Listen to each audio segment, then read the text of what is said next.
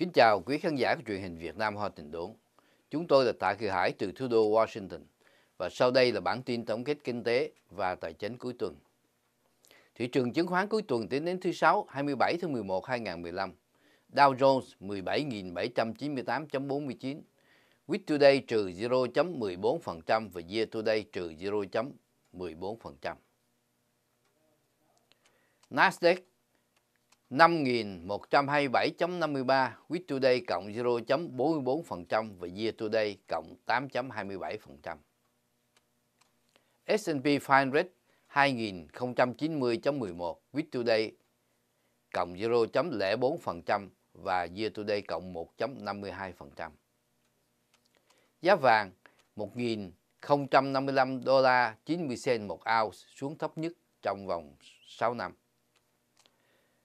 Giá dầu thô 41 đô la 77 sen một barrel căn cứ vào dữ kiện hôm thứ Sáu 27 tháng 11 2015. Có thay đổi nhưng không đáng kể.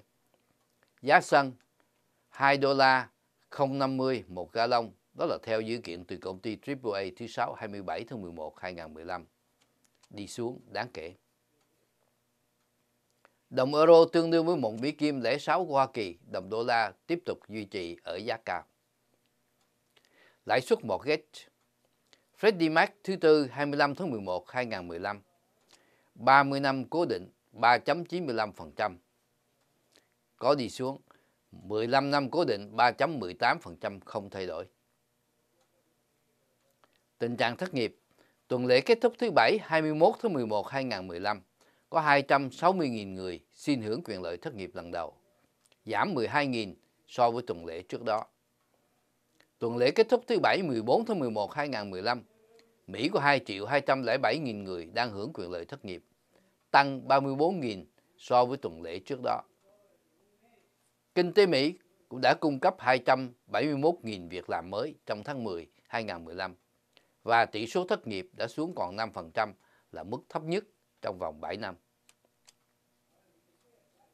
Kinh tế Mỹ Thị trường chứng khoán tuần này cả ba chỉ số thay đổi không đáng kể với Dow Jones giảm trừ 0.14%, Nasdaq tăng cộng 0.44% và S&P 500 tăng cộng 0.04%. Đồng thời, riêng ngày thứ Sáu, thị trường chứng khoán thế giới đã đi xuống với chỉ số Nikkei 225 của Nhật giảm trừ 0.30%, Hồng Kông Hang Seng giảm trừ 1.87%, Shanghai Composite giảm trừ 5.43%, London FTSE 100 giảm trừ 0.28% và DAX của Đức giảm trừ 0.24%. Tuần này thị trường chứng khoán đón chào ngày lễ tạ ơn trong không khí yên tĩnh tại Hoa Kỳ và mùa sắm sửa với Black Friday có vẻ khả quan. Dow Jones chỉ tăng gần 66 điểm trong tuần này, có thể do bị ảnh hưởng bởi tình hình căng thẳng vì phi cơ chiến đấu phản lực F-16 của không lực Thổ Nhĩ Kỳ, một thành viên của khối NATO Bắc Đại Tây Dương, đã bắn hạ chiến đấu cơ phản lực S-24 của Nga. Tuần trước là tuần lễ tương đối tích cực của thị trường chứng khoán và kinh tế Mỹ. Người ta nghĩ rằng tình trạng khỏe mạnh của kinh tế Mỹ hiện nay sẽ là động lực giúp Quỹ Dự trữ Liên bang quyết định cho tăng lãi suất trong kỳ họp vào tháng 12 này. Tuần này là tuần lễ thứ sáu, giá vàng liên tiếp bị mất giá và hầu như thấp nhất trong vòng 6 năm. Số lượng dầu sản xuất thặng dư trên thế giới hiện nay sẽ gây sự giảm giá dầu, mất giá thêm. Đồng đô la tiếp tục lên giá sẽ gây thiệt hại cho ngành xuất cảng và cũng làm giảm giá dầu, tạo khó khăn thêm cho thị trường việc làm của Mỹ. Kinh tế của Hiệp Trung Quốc Hoa Kỳ được nhìn theo sắc dân như sau. Thứ nhất, về lợi tức gia đình. Người Á Châu có 66.000 một năm. Người Mỹ trắng có 60.250 một năm. Latino có 42.500 đô la một năm. Người da đen có 35.400 đô la một năm.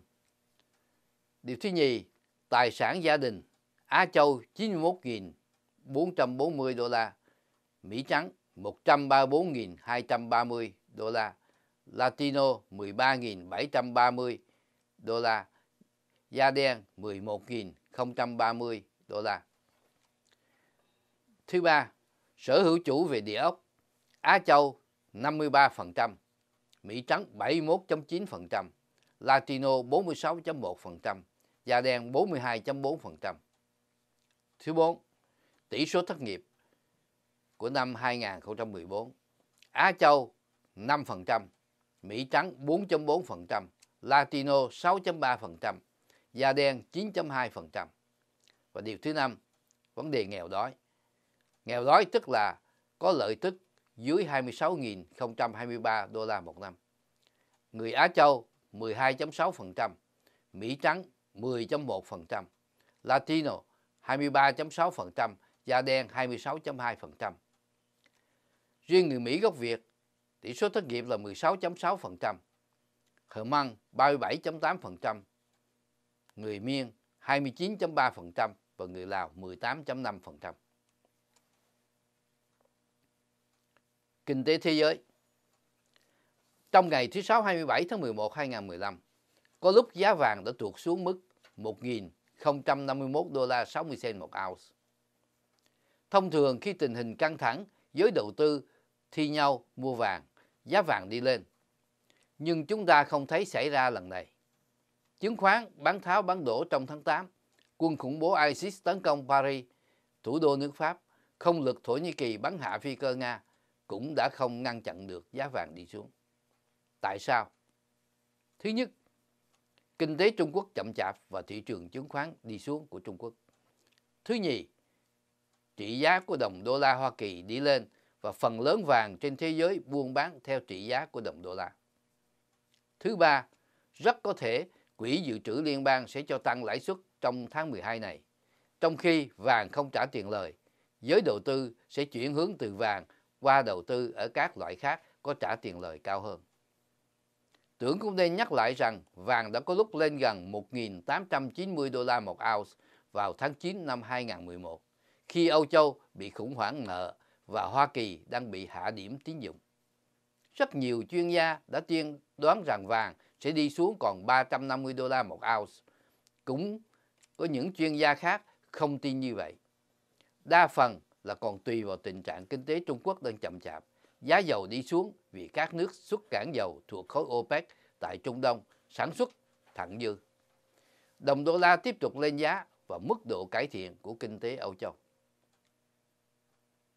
Kính thưa quý khán giả, bản tin tổng kết kinh tế và tài chính cuối tuần xin được tạm ngưng nơi đây và xin hẹn tái ngộ cùng quý vị trong chương trình kỳ tới.